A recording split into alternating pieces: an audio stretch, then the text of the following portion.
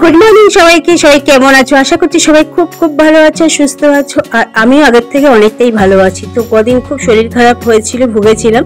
তো এখন অনেকটাই ভালো আছি। তো দেখো, বাড়িতে এত সুন্দর ফুল ফুটেছে। তো গাছে শুধু প্রজাপতি আর প্রজাপতি। তো আমার স্নান টান হয়ে গেছে সমস্ত কাজ বাজ করে। তো এখন একটু তুলসী তলায় জল দেব। তো ফুল আনতেই গেছিলাম আর কি। তো দেখো, আমার বাড়িতে কত ফুল। তো আমি ছোট ছোট দোপাটির চারাও লাগিয়েছি মনে আর এক মাসের মধ্যে ফুলও ফুটবে, সেটাও তোমাদের সঙ্গে শেয়ার করব। আর বাড়িতে দেখো, রঙন ফুল ফুটেছে, কি দারুণ। দলে দলে শুধু প্রজাপতি এসেই যাচ্ছে।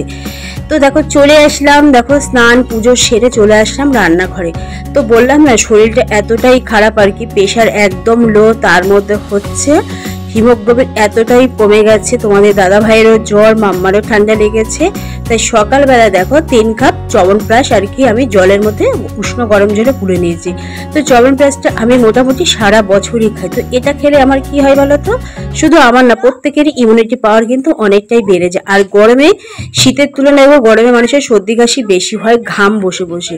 তো চা ফা খেয়ে দেখো মাম্মাকে আমি এখন একটু পড়তে বসিয়েছি। তো কি বলো তো, ছুটি চলল, পড়াগুলো যদি না শেষ করে, স্কুল খুললেই কিন্তু এক্সাম শুরু হয়ে যাবে।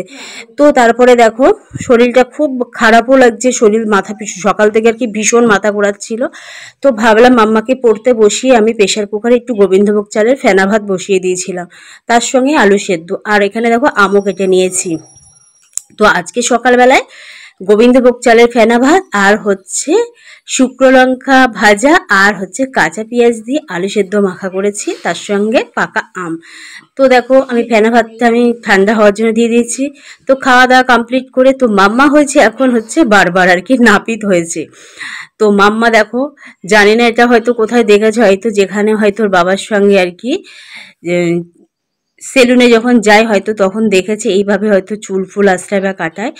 তো মাম্মা তো সবসময় পার্লারেই চুল কাটে তো ওর বাবার সঙ্গে মাঝে মাঝে সেলুনে যায়, তখন হয়তো দেখেছে তো ওর বাবার টাক মাথাটা, দেখো কীভাবে। দুজনে মিলে দেখো, আশ্রে দিচ্ছে, তারপরে এখন হচ্ছে গোপ কাটবে আর কি। বলছে, তুমি গোপ কাটুন আমি তোমার গোপ কেটে দিচ্ছি। ওই দেখ চিরুনি দিয়ে দেখো সেটিং করে দিচ্ছি। তো ভাবলাম ভিডিওটা আমি কেটে দেবো আর কি।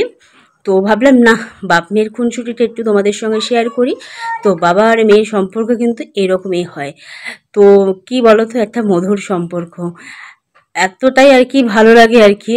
যে দেখো দুজনাই শুরু করেছে, একজনের সামনে দিয়ে, তো একজনের পেছন দিয়ে। তো দেখো আজকে সব কিছু করে তারপরে চলে আসলাম রান্নাঘরে। তো আজকে শুধু রান্না করেছি ভাত আর ডিম আলুর ঝোল আর কিছুই না। তো মাম্মাকে বলেছিলাম, মাম্মা, একটু ক্যামেরাটা ধর, তো আমি তো খেয়ালই করিনি যে স্ট্যান্ডে লাগিয়ে করব। তো তোমরা একটু বুঝে নিও। তো মাম্মা দেখো, ক্যামেরাটা ধরেছে, একদম ঠিকঠাক ধরতে পারেনি। একটু কষ্ট করে আর কি ভিডিওটা দেখে নিও। তো আজকে দুপুরে শুধু রান্না করেছি ডিম আলুর ঝোল আর ভাত, কিচ্ছু না।